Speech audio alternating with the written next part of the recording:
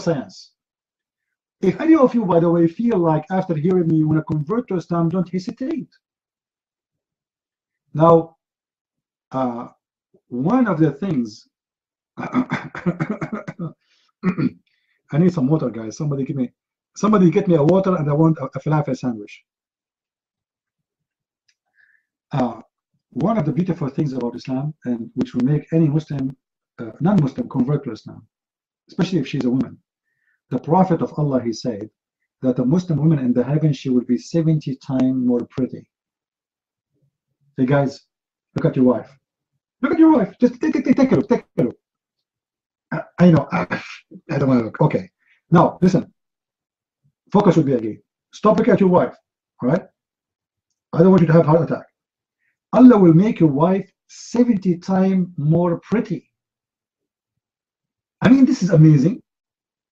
Imagine your wife, this wife, yuck, yuck. She will be 70 times more pretty. All of this because Allah will make 70 times plastic surgery for her. I mean, isn't this is beautiful? For free? Her breast will be 70 times more beautiful. Don't look at your wife now. Come on, stop doing that. I mean, and keep your weapon away from you, okay? Here we go. Don't put weapon around. Don't look at your wife and don't look at your mother-in-law.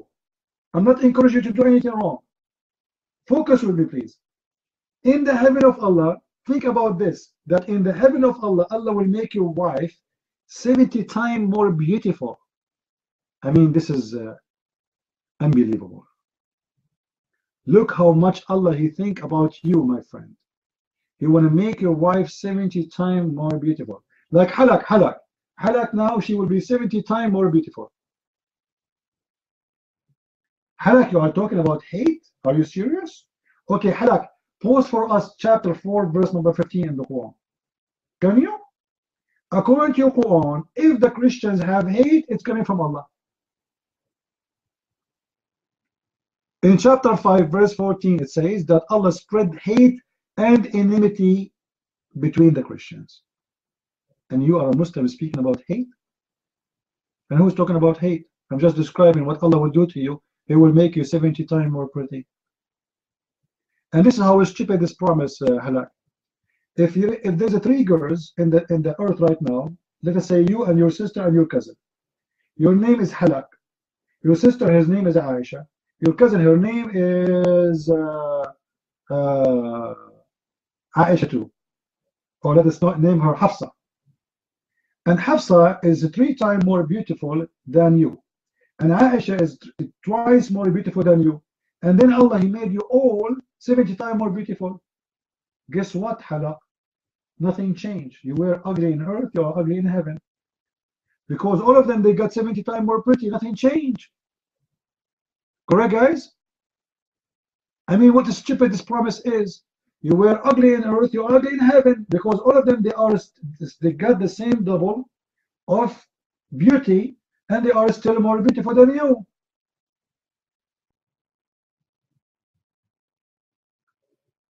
But anyway, you know, I love to go to the heaven of Allah for a different reason. Anyone knows why? Anyone knows why? Okay, listen. Think with me, think with me, think deep. The Muslims in the heaven, Muslim men, they would be doing what in the heaven? They would be busy doing what? Somebody tell me.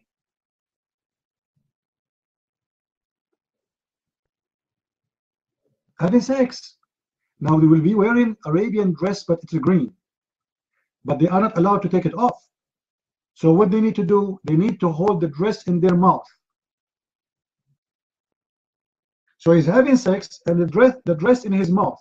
And I will go to the heaven and I go there and say, Muhammad is a crazy, uh, uh, uh, uh, and nobody there to say a word for me.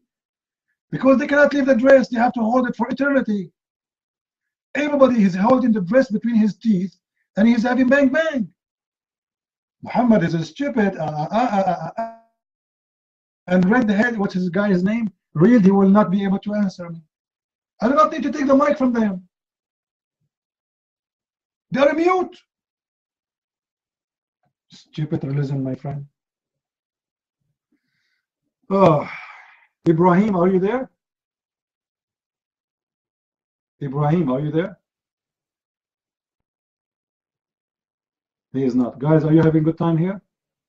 Are we having a good time? Okay, anyone who said he have a good time, by the way, guys, they are practicing taqiyya. Let me tell you about those Christians. They have a verse in the Bible, it's called the chapter 3, verse 28, it's called taqiyya. All right? They will not tell you the truth. Unbelievable. Because they're afraid. If I say to them, Are you enjoying your time? And they say, No, I will bounce them because I'm an Arab. I mean, we believe in democracy. Actually, we are the first nation who created democracy. Al Qaddafi, he said, the word democracy is coming from the word democracy, which means bring the chairs. I'm serious. Al Qaddafi, he said that. And he said, even Shakespeare is a Muslim, and his real name is Sheikh Isber. Unbelievable. I'm getting dizzy. Nightmare, the mic is yours.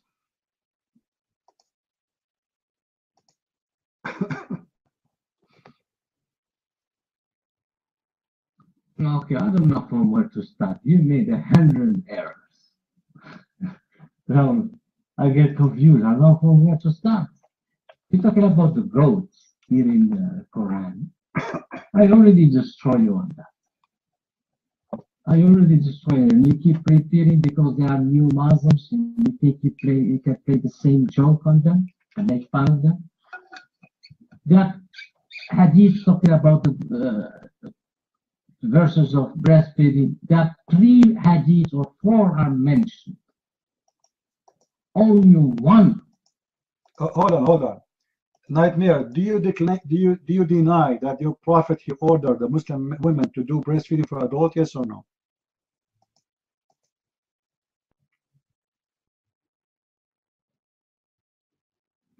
No, I'll, don't take the mic from me. I can I can talk, uh, answer that question. Okay. The hadith about the breastfeeding and uh, you know the, the one that you mentioned and is reported three times. You know, and only one guy who mentioned the goats beat uh, the, the page of the Quran. Only one. The rest, other ones, didn't mention goat or any animal. And those hadith, one of them is from hadith from the volume of Muslim, Sahih, better than the other one. And the one who mentioned the goat pages of the Quran is known to be a liar. That's why the scholars. Okay, so where is the breastfeeding verse in the Quran? If this is a false story, why it's not in the Quran right now, Nightmare? You might.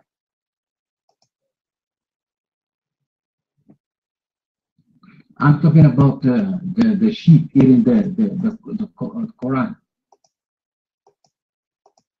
But this is mean there's verses are missing, my friend. If it's not the sheep, it's what? It's the elephant who ate it? You have to give us who is the one who got these verses gone. How those verses became missing then? It's guys is not a sheep. It is not a sheep. It was the vacuum machine, okay? Where is those verses? What happened to them? You might. Okay. There are many interpretations of the of what happened there. Some scholars they say that uh, the verse was abrogated, you know, and some of scholars they Yeah, did he say the verse? Did he say the verse? Did he say the verse? He said verse, right? So it's a verse. So what if it's abrogated? Should we stay? There's many verses in the Quran abrogated, but they are in the Quran. How come only this verse, which is abrogated, according to you saying it is abrogated, is not in the Quran? You might. And how it was abrogated? You might. Abrogated by what? No, no, no, no, no. You, you don't know anything about abrogation. Abrogation sometimes is taken out from the Quran and as well as uh, the hukm wala. Ruling and pronunciation. And sometimes is only hukm. Show me where your prophet, he said, if you want, you can take verse from the Quran if they are abrogated and we throw them in the garbage. I thought the Quran says it clearly that Allah protect the Quran. Right now you are saying to me that we take only the rule and we throw the, the verse in the garbage. That does not make sense. But because they are lost, we remember the rules, but we do not know the verses.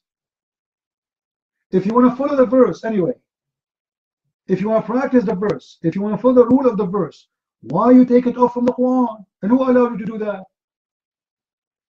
Your mind.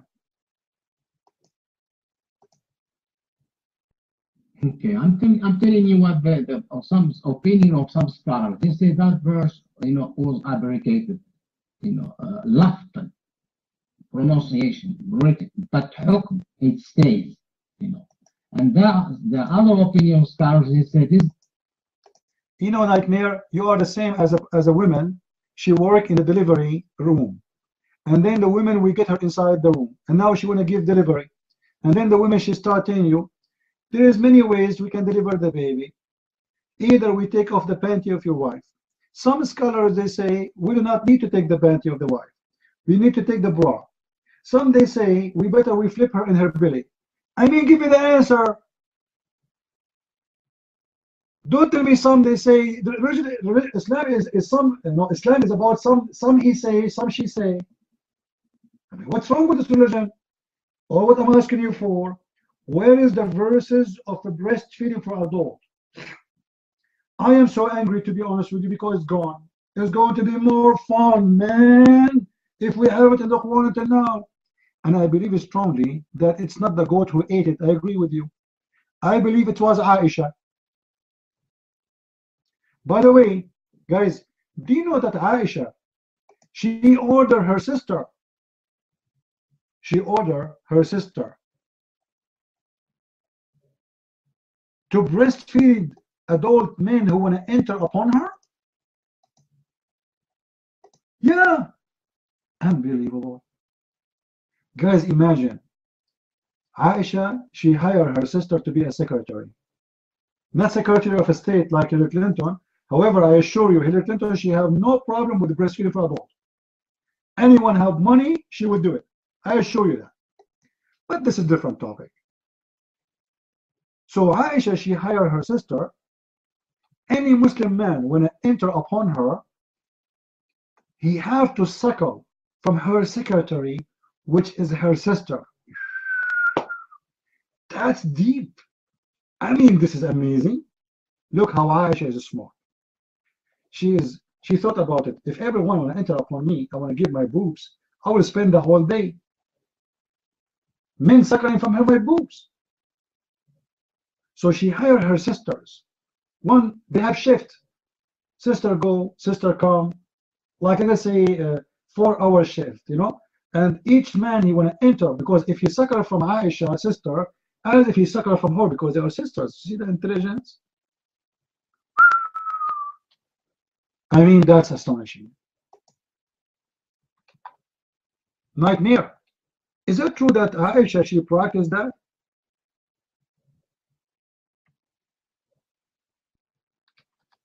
Is that true? You mind?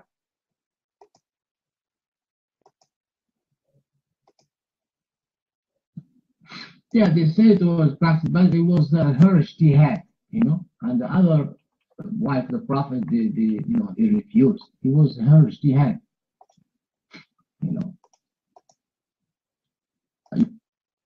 Guys, did you, did you hear this? People, did you did you hear this? Did you, Guys, I have to close the room. Sorry, I'm going to go and visit Aisha. All right. First, because my throat is dry, and I think women women milk will be very useful. And as long as it's for free, I mean it's for free. what the heck? The wife of the prophet, she put her sister as a secretary, and her job is to give her boobs to anyone who enter. That's beautiful. Mm. Who wanna go with me? Okay, wanna go with me? Anyone wanna go with me? Give me one if you like to go and visit Aisha right now.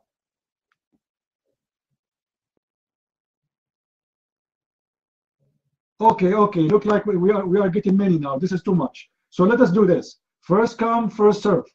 All right, and you take a ticket. We don't want to fight there in front of Aisha.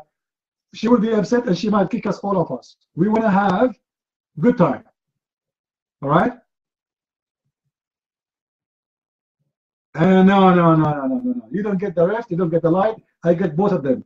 I will get her nipples close together, and I will do. I will. Uh, I, I have my trick. Don't don't fool me. It's my turn. Don't tell me you get the right. I get the.